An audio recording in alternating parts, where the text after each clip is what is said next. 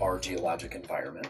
We all know that the dinosaurs died, but how did they die? This is cool stuff. I want to be able to look at this. One of the coolest things is to have all of these people from around the world taking this class, the mm-hmm. like online environment, and they're able to share experiences with one another and how that past teaches us about the future. It's like a football game. You can go into anybody that knows football and say, if I give you $100 and you have to bet on who's going to win the Super Bowl, how many of you are going to pick the Cleveland Browns. And I love the Cleveland Browns, but they historically haven't won the games. Because of that past history, we're able to predict the future. Apply that to geologic concepts.